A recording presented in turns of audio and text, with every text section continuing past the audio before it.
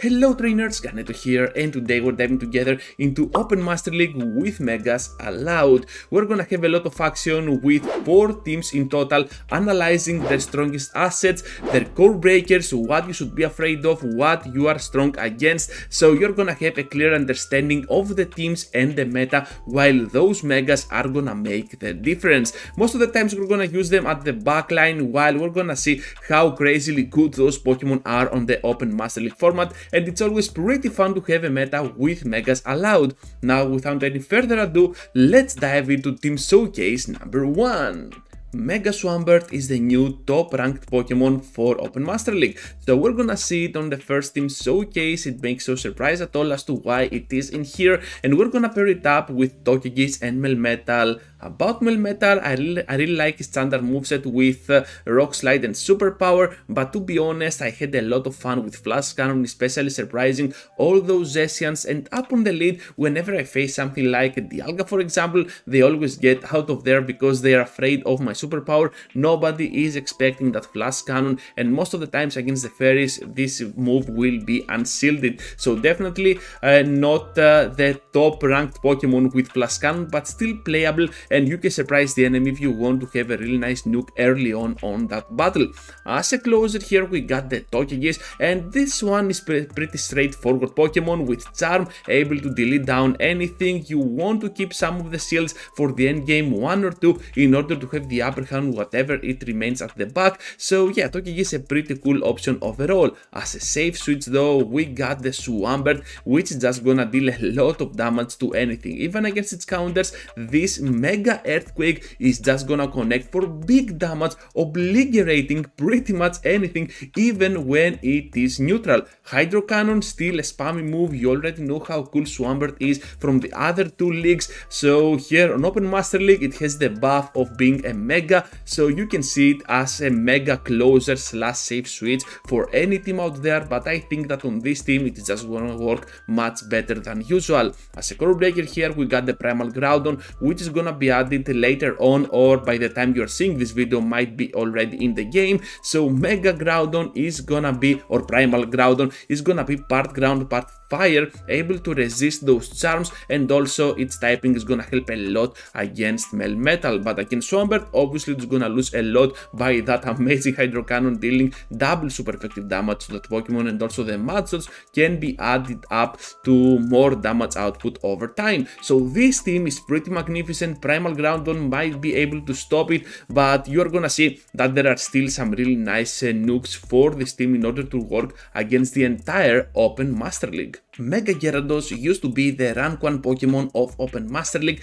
when Megas were a thing. However now, with Mega Swampert having such a huge impact on the meta, you're gonna see that this Pokemon is gonna be kinda overshadowed. However, Mega Gyarados is still gonna have a lot of play, so here is a line that I think you're gonna like a lot. Mewtwo up on the lead, able to destroy down the enemy with Psycho Cuts and Psy Strikes, while you can use whatever you want as your second move, because even a Focus Blast or a Ball can definitely be pretty handy at certain situations, while Thunderbolt and Ice Beam can also help at some other scenarios. As a closer, we got the Dragonite, which now has access to superpower, now about a year now, uh, and it will give it coverage against those steel types, which is super good for the closing game. As a safe switch, we're gonna have the Mega Gyarados and the main star of the team able to get in there pretty clutch. I got the bite here only because of that possible uh, matchup with uh, Giratina or a Mewtwo, but to be honest, I think that Dragon Breath is gonna be the much better fast attack because defensively, the dark typing is gonna help against those matchups and not the bite. So yeah, keep that in mind when you're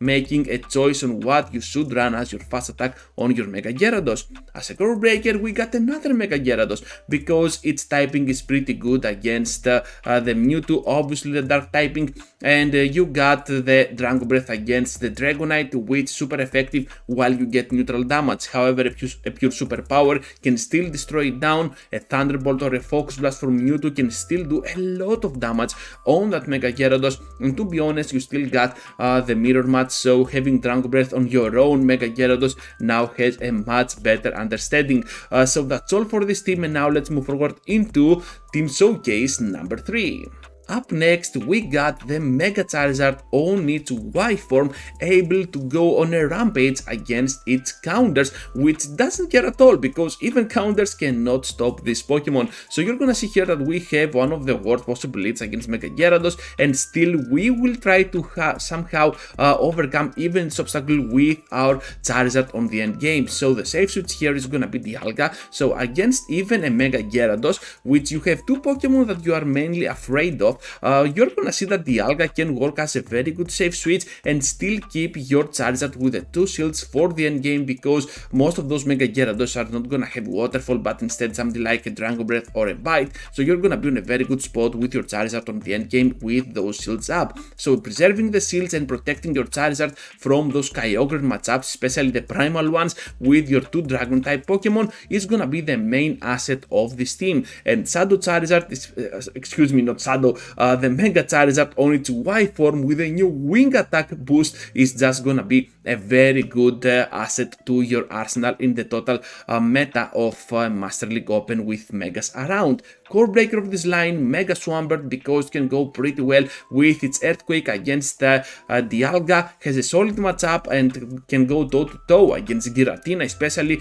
by landing one whole Earthquake, which does more than a half to the Giratina, which is crazy. And of course, uh, the water typing can always uh, be a much better typing against that uh, fire typing of Charizard, but still, you're gonna see that Charizard can go toe to toe even against its counters when shields are up, so I would not be that much worried about Mega Swampert when I was gonna use a team like this. Definitely a team that you have to try out if you have the resources because everything is gonna be XL based and yeah, a lot of resources will be needed for any team in Master League to be pretty useful. Final team showcase until we got the Mega Garchomp into play, well, we're gonna have Mega Gengar for this line. Uh, so Mega Gengar is gonna be pretty amazing on the closing part, however, it is gonna be extremely glassy. It cannot withstand the damage and as you're gonna see in a while, even a cheap move, something like an Aqua Tail will not be uh, much appreciated by Mega Gengar, but still, if you can somehow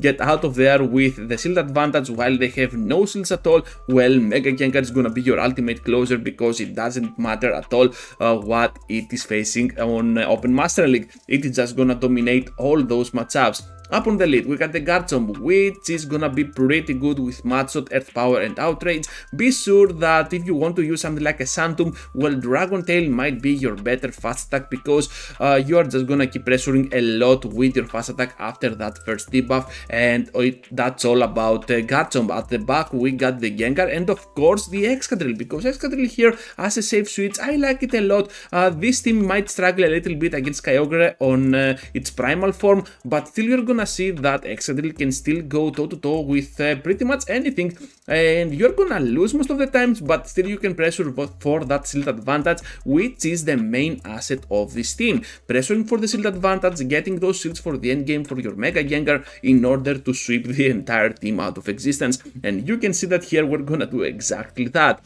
Core breaker of this line, yeah, Primal Kyogre, uh, mainly because of the Excadrill matchup, it can also go uh, pretty rough with those Waterfalls against the Glass Mega Gengar, while they are pretty neutral but still uh, Mega Gengar cannot withstand the damage from the waterfalls, while against Garchomp this is kind of an even matchup, but still Kyogre it's, uh, is absolutely outbulking this Pokemon, uh, so definitely a very good one for the meta, the Primal Kyogre when it gets out, or by the time you're seeing this video it might be already out, you have to rate it for sure. So that's all about those teams, and that is gonna be a wrap everyone, and thank you for watching, fellow trainers. Please consider liking the video if you enjoyed the content and subscribe if you are new to the channel. If you want to support me even more, joining as a member might be the way to do it. Click here for the next video that might be of interest to you. Till the next time, take care trainers!